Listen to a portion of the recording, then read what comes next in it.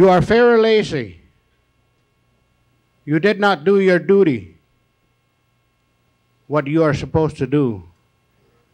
The rest of the birds are going to provide for their little ones. But you, you haven't done nothing. So you shall be punished for this. The animal names the zebra.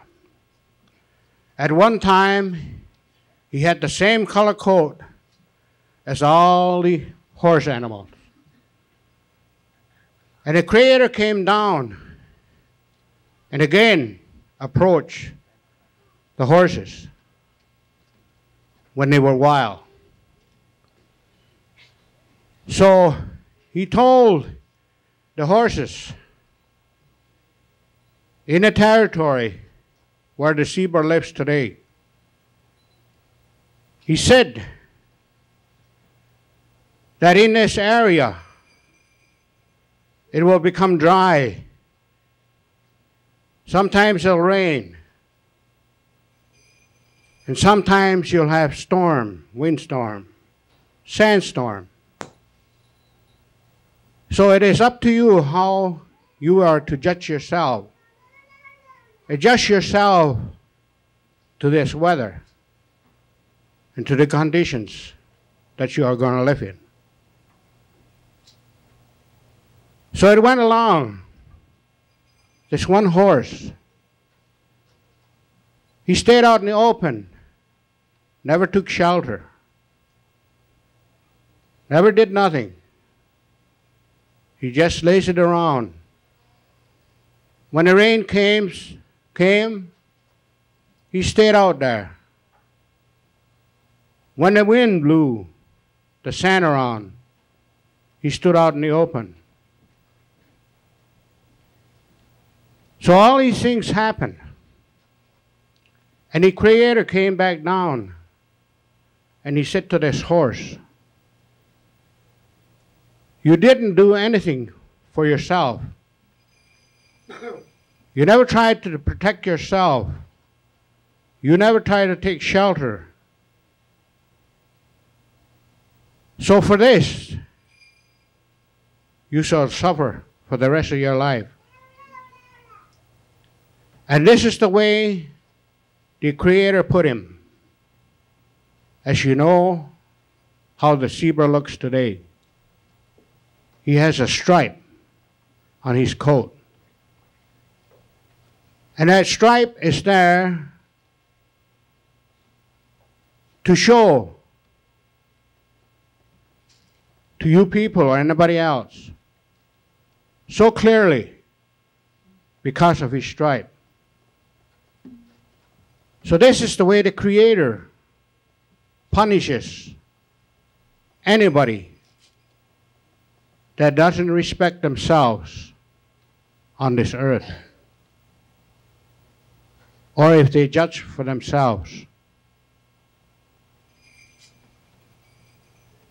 So, this is what ha- is happening to human beings. We're judging for ourselves. We don't like what's going on. And this is why the world is so hard to try and correct it because of the situation. In other words, what I'm saying, we have got too much education. We know too much. Just because a person went to Harvard Law School, he knows better than a person going to a small college, maybe a community college, because they classify Harvard as being the highest education. They classify that for the reason because the people with high money, with a lot of money, send their kids to school there. But yet, education should be at its level, regardless where you go to school. or how who you are that gets that education. But today it's not like that. Even on employment in our work, the man with the most money gets the benefit out of it. So, you young children, because we're dedicating this dances and everything tonight to you kids, we hope that you will think of the things that we have said to you. Think of the animals, what has happened to them because they did not respect the Creator's way. So we are like the animals. We have different nationality today here in this country. We are like the animals, but yet we are no different to the Creator. We can be punished the same way as the animal was punished. So, you young children, you think. You don't want to be like the mourning dove. You don't want to be like the zebra and be known out in the open. You cannot hide.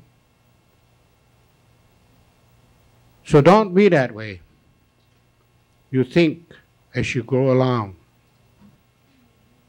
But the muskrat he was lazy. He laid around the banks.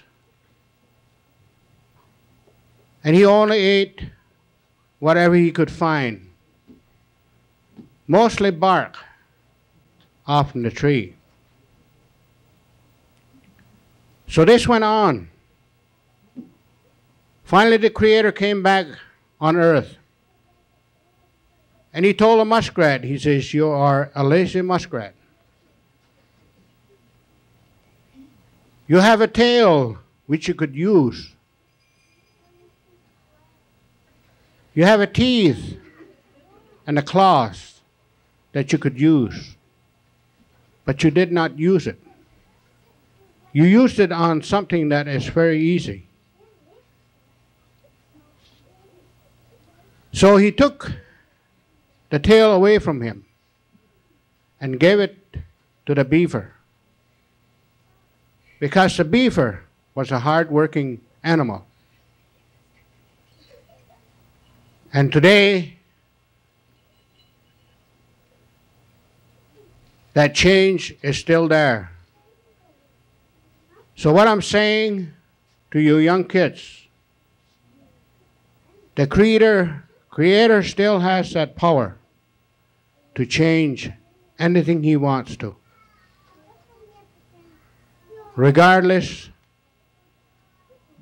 of what you've been taught, that change can be made. So you think the way you are put on this earth, you adjust yourself accordingly with the earth respect the things that the Creator has set down on earth. And I hope that you learn and study the lesson you had today. Like I said, we're dedicating the songs and the dances to you.